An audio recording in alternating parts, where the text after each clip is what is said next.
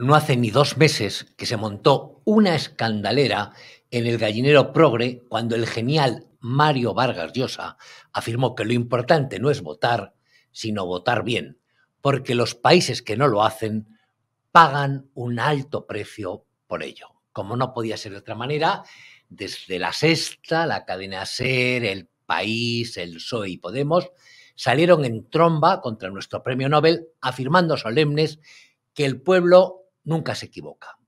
Yo me pregunto si no hubiera sido mejor para ellos y para el mundo, por ejemplo, que los alemanes no hubieran votado masivamente a favor de Hitler en 1932 o que los venezolanos no lo hubieran hecho por Hugo Chávez en 1998.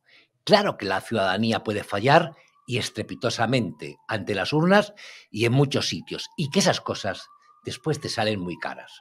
Aquí tenemos claros ejemplos, que les pregunten a los barceloneses por Ada Colau o a muchos vascos. No sé si han dado cuenta que ha sido hablar de Ada Colau y han empezado a sonar aquí detrás de mí las sirenas. Bueno, pues que le pregunten a los barceloneses por Ada Colau o a muchos vascos, en concreto a los que no están moralmente enfermos, que les pregunten por todos esos ayuntamientos donde mandan los proetarras de Bildu, y mandan en bastantes.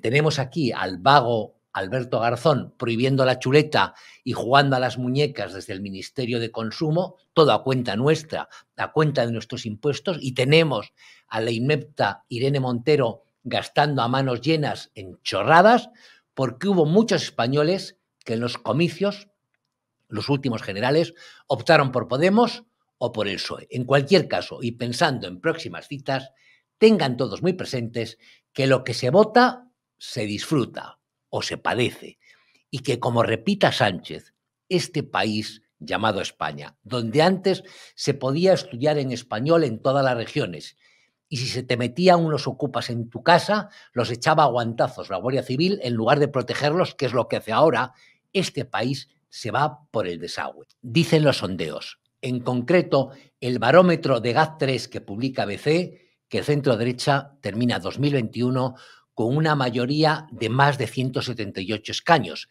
y que si hoy hubiera elecciones generales, los socialistas no llegaban a los 100 diputados y que los de Podemos se quedaban por debajo del 10%. Vox, por el contrario, parece haberse afianzado en el conjunto de España con una estimación de voto del 17% o un poco más y 56 escaños, lo que permitiría a Santiago Abascal exigirle a Pablo Casado un gobierno de coalición. La economía pinta mal, los precios están disparados, crece la inflación, los fondos europeos solo están arreglándoles las cuentas a los amigos y socios del gobierno. Pero es muy probable que Sánchez haga malabares para llegar por lo menos a finales de 2023. Y mientras tanto, fiel a su estilo y consciente de que los votantes de izquierda se tragan cualquier cosa, Sánchez seguirá usando el Falcon que pagamos todos para ir a actos del PSOE. Seguirá convocando apariciones en televisión sin sustancia ni contenido y seguirá abrazado a los amigos de los terroristas de ETA y a los xenófobos que apedrean a un niño de cinco años en Cataluña porque su familia exige que se cumpla la ley y le den un 25% de clases en castellano. Estamos, y no hay ninguna duda, en el peor momento con los peores ministros, el peor gobierno y el presidente más nefasto de la historia.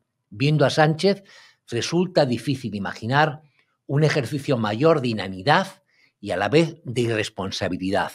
Pero hay gente para todo y más tontos que botellines. Ya verán como a la hora de la verdad, a pesar de la ruina, las mentiras, el precio de la electricidad, la inflación, las ofensas a las víctimas, los abusos y las trampas, abundan los majaderos que le votan. Eso de que el pueblo nunca se equivoca es una memez como la copa de un pino.